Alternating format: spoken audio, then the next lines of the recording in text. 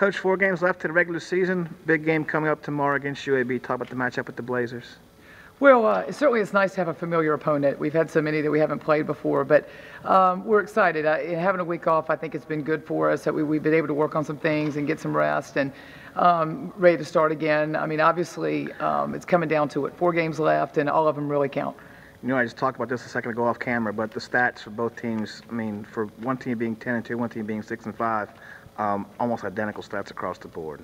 Well, one of the big differences is we've both been in close games, and we've been able to pull some of those out, and, and they've lost some games in overtime. And um, they're a very good team. I, I, think they're they're one that's probably a little underrated, and um, it's one of those games that, that they've given everyone a good game. So you got to go in there and expect something really good.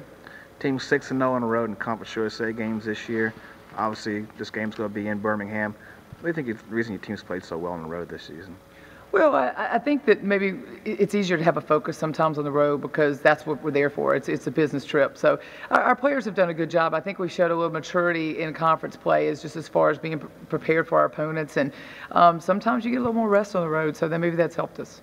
Uh, some things have kind of gone the Green Wave's way and uh, not other games around the conference this last week. Um, you kind of still control your own destiny with a chance to win the outright conference title come that season finale game against Middle Tennessee. How important is it for your team to take advantage of those opportunities?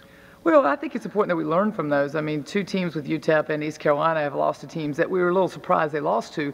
But um, anyone can beat anybody in the conference, and I think that should be a wake-up call for us that you go up to UAB or, or you have Tulsa here at home, that both those games are, are huge and we can't look ahead.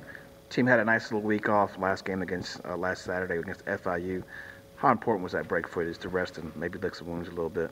It, has been a long season, and the travel's been tough. And when you look at um, you know, this point in the season, late February, uh, this week was really valuable to us. And uh, I think that was something that we had been looking ahead and, and, felt like we had a good plan going into this week to how we could handle it. That being said, now no more breaks. Obviously, the conference tournament for for some team it's going to be a five days, five games in five days, just gruel fest, I guess you could say. Uh, how important is it to stay in the top four and get the potential double bye? Well, I mean, I, I think it's it's fun to be in our position. I mean, I think we're we're looking ahead, and we would like to be the top seed, and that's we're in position we can do that if we take care of business. So, this is what you play for. I mean, the season comes down to these four games, and and how well you handle them, and how well your team handles them, and um, this is when it's really fun. Fun's all well and good, but what did your team need to do to, to keep the wing streak alive and to finish the season strong? It's really simple. I, I, think we have to do the things we've done. I think we have to work real hard. I think we have to we have to play hard. We have to play as a team. I mean, we're good when we're nice and balanced. Um, can't turn over the ball, got to rebound, and those are key for us. But I don't think we should change anything we're doing. And um, if we if we try to look ahead, if we try to think of the big picture instead of what's in front of us, that could hurt us. So um, hopefully, you know, last year we were in a situation where we could have shared the title. We had the last game of the season that we could have shared it, and we didn't handle that so well. So hopefully we learn from that and uh, enter different position. All right, Coach. Appreciate it. Thanks. Good luck. Thank you.